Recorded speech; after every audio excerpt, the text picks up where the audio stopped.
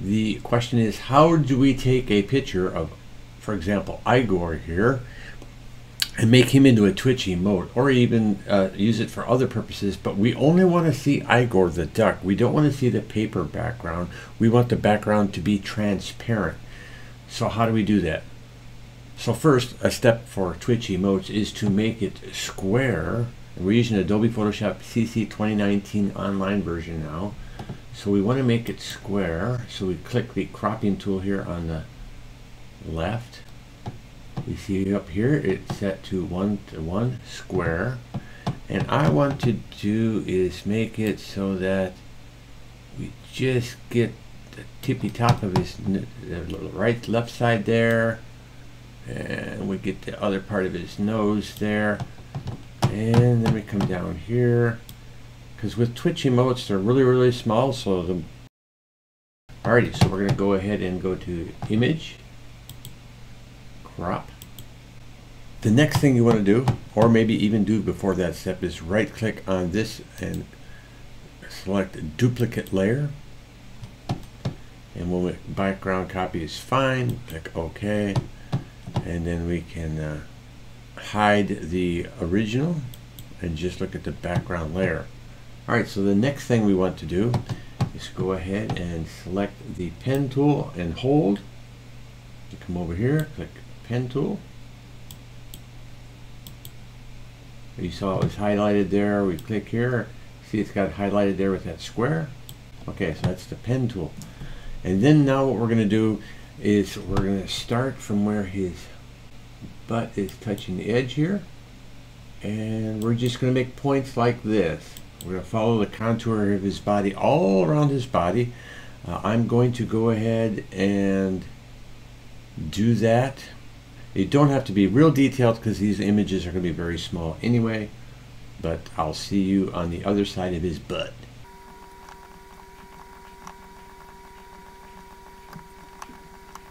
Alright, we made it to the other side of his butt here and we want to connect these together.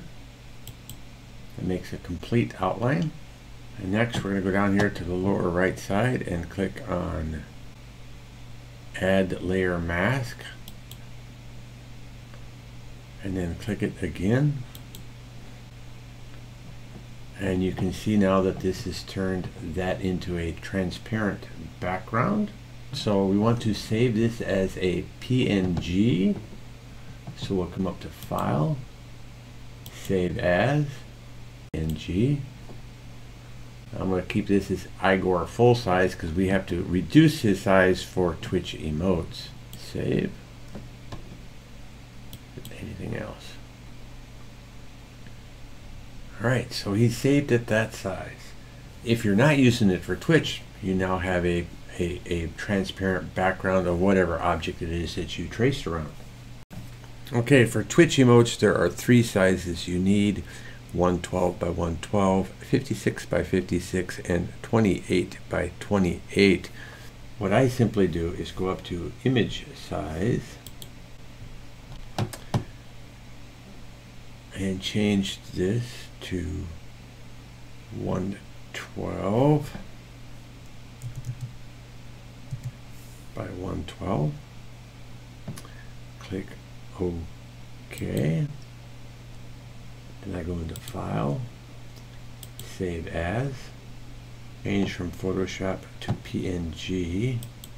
Size we will do Igor 112 by 112 and that also makes it easier when you're searching your directories for your files. If you have a complex directory structure you can just search on 112 and save. Okay.